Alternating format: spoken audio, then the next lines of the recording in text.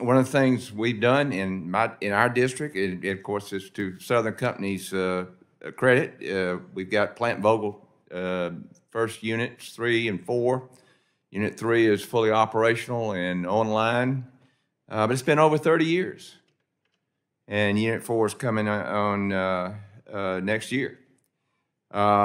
We know that nuclear energy is clean, reliable, affordable, and um, we know that over a period of time, the uh, it, it, it's very efficient. Um, Department of Energy says that Vogtles 3 and 4 will generate more than 17 million megawatt hours of clean energy and prevent 10 million metric tons of carbon dioxide emissions annually. Mr. Mills and Mr. Menendez, can you speak to the importance of these new units at Plant Vogtle and uh, as well as uh, uh, looking at additional nuclear uh, possibilities as far as reducing emissions and uh, uh, increasing in, in this increasing demand for electricity? And Mr. Menendez, you could go first, and then Mr. Mills. Uh, Thank you very much.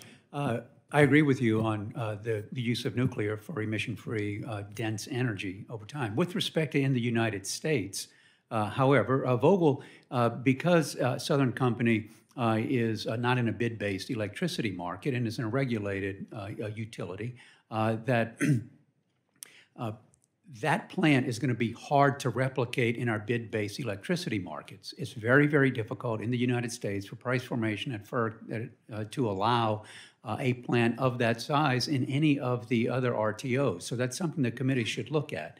Uh, and so, as a consequence, uh, the industry is moving to small modular reactors, actually, not of the size of Vogtle, different technologies. And we've seen that there's some exciting opportunities here in the United States, although NuScale recently, uh, you know, uh, pulled out of their project uh, uh, with UAMPS, or UAMPS pulled out, which caused NuScale to. But, but the future of nuclear is great. We see globally the acceptance really of nuclear more than we do in the United States for the aforementioned reasons. It's very difficult to be able to place and build now uh, in the bid-based markets a nuclear facility. Mr. Mills? I'd just like to reemphasize that the uh, challenge that the nuclear industry has is essentially a structural regulatory, as Mr. Menendez said, pointed out. Building big reactors is what we know how to build, and we need to build a lot more of them faster. I think France will do that. Sweden's going to do it. The small reactors don't have regulatory problems much right now as a technology timeline problem. It'll take some years to build enough of them to know how they work and how to build them at scale. I'm sure it can happen. A different, a different incentive structure is required for that, and I, I see very little evidence of that being put in place. Well, there's really no incentive from the federal government to build these. In other words, it's disincentive.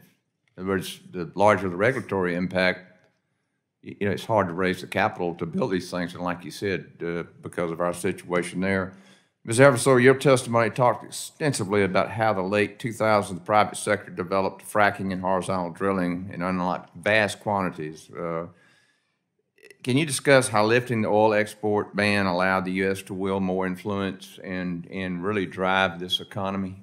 I certainly can appreciate the question. Look, I mean, we have had an incredible influence on stabilizing the markets as a consequence of lifting the oil export ban in 2015.